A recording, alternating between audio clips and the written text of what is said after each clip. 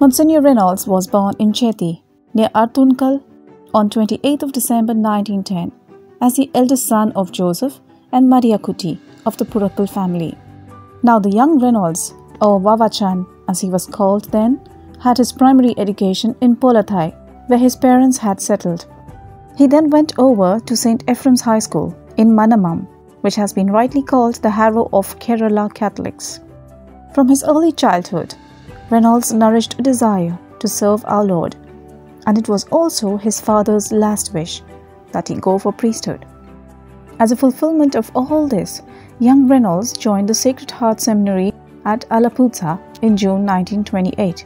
Completing his seminary studies at Mangalapuzha, he was ordained in July 1937. He was immediately posted as assistant to the director of St. Anthony's Orphanage and later became director in 1940 and held that post till his demise in 1988.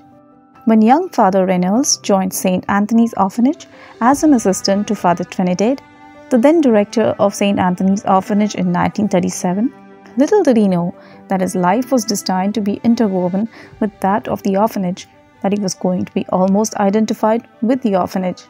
The Second World War, which broke out, which soon impoverished the town and the suburbs further, and the demands on the orphanage increased heavily.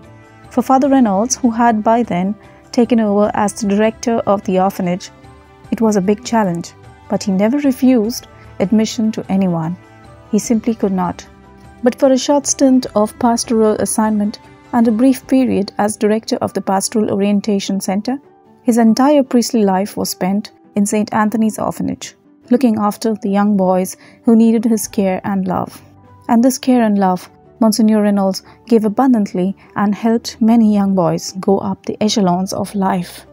The Catholics of Alleppey, who knew Monsignor Reynolds and has personal contact with him, spoke of how he was a legend. His pastoral care, concern for the poor, and commitment to the cause of the orphan boys had endeared him to all. His contacts and interactions with ordinary people cut across the barriers of caste and creed. An eloquent preacher and a convincing speaker, he could reach out to almost everyone in and around Alleppey. His weekly exhortations and novena at St. Anthony's Shrine in Alleppey and the annual homilies at the Good Friday Way of the Cross through the streets of Alleppey were always looked forward to by people.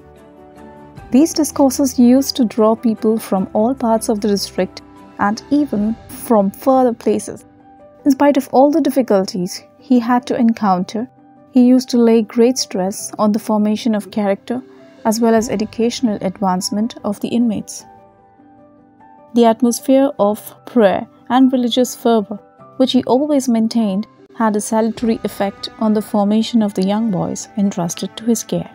The result is that today St. Anthony's Orphanage is able to reckon among its alumni a former bishop, numerous priests, successful businessmen, administrators, and professions of various hues working in different parts of the world.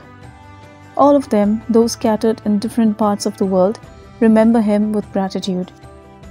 His piety, devotion to the Blessed Sacrament and the Blessed Virgin, faith in the powers of intercession of Saint Anthony, all made him a central figure in the Catholic public life of Alleppey. He was a sought after retreat preacher too, as the manager and editor of Catholic Life, a socio religious magazine, which was also the official organ of the Diocese of Cochin and later that of the Diocese of Alleppey, he had a brief link with the journalistic field also. Father Reynolds Purackal died on the 14th of October 1988 and was buried in Mount Carmel Cathedral Cemetery Chapel in Alappuzha. Servant of God, Monsignor Reynolds Purackal, pray for us.